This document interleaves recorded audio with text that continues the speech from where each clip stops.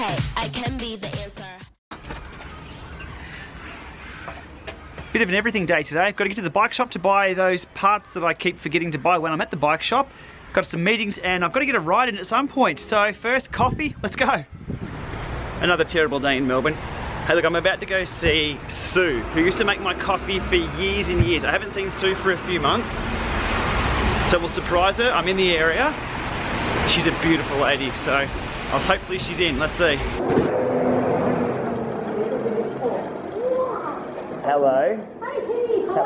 Didn't get a lot of footage then. I had to put the camera down because Sue just wanted a hug and she wanted to talk so much and I didn't feel right putting the camera there. If you're ever in Cute, go and see Sue and tell her I sent you. She was the first person to give Veronica and I our uh, an engagement gift. When she found out we were engaged, she was so happy. She keeps asking when we're having kids. Um, she wants to see all our photos of all our travel. She shares her family stories from back home in China. Um, she is just a beautiful person. So she's a, it's a shitty day here in Melbourne, but she's an absolute sunshine. Every time you walk in there, she is a ray of light.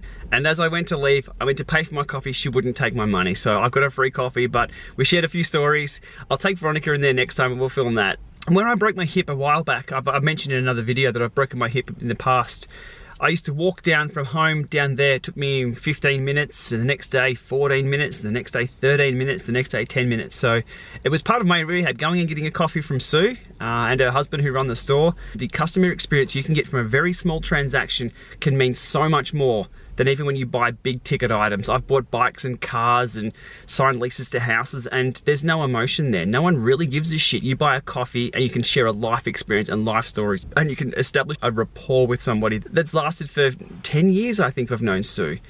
Again, it's all about the experience. Good coffee, good people, and good times.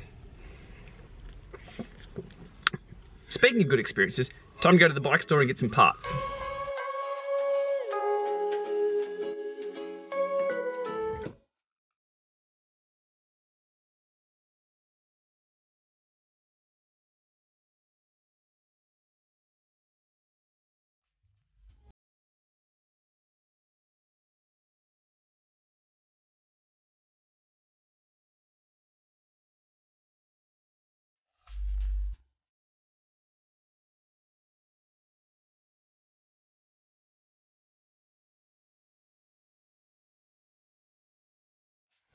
So if I was to come in and get my fit from my road bike, put on this, and you to adjust it just to check everything, what do I need to do? Yeah, look, if we're just doing a sizing, it takes about an hour, and Yep. we're looking at $99.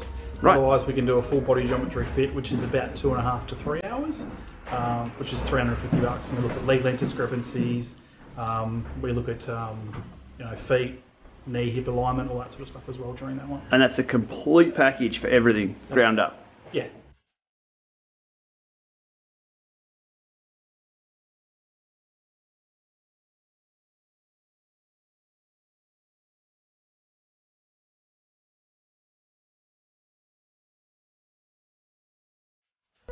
This is also one of my favourite tools, especially for indoor comfort. That there is a butt print. You sit your butt.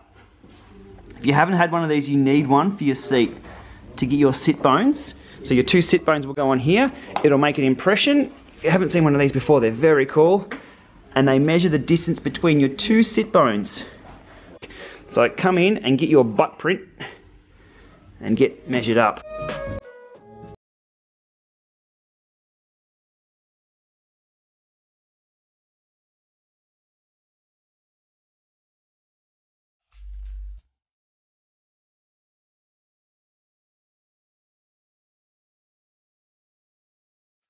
Now the reason why I wear a 43 is because I came in and saw these guys and they told me a 44 was too big. That's why. 43 and and I'll need arch support based on that. That's cool.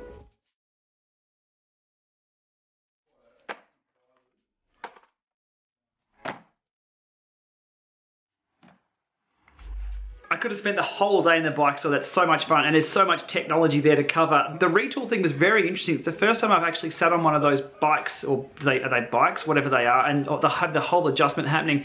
Comment below if you want more information on that. I might be able to tee up a time with the guys to go in and cover more of the fit. Maybe even have a full fit myself. We'll have a chat to the guys and see if they can do that.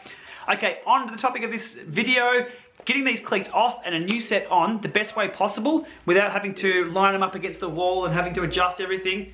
Here's my tricks on that. Enjoy.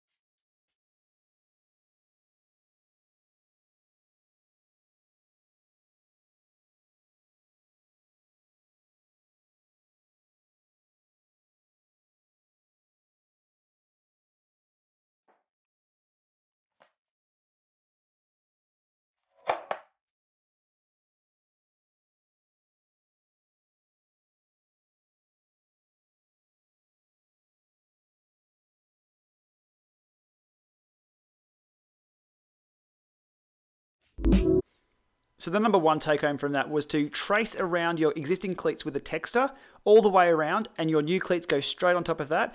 And making sure when you're screwing the bolts in, they're all evenly tightened all the way around. It's like you do with a car tire putting them on, so there's not one having a lot more tension than the other. Makes it easier to position them as well.